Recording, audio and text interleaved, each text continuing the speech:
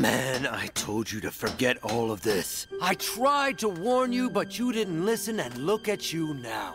Fucking idiot. God damn it, it doesn't have to be this way. Not anymore.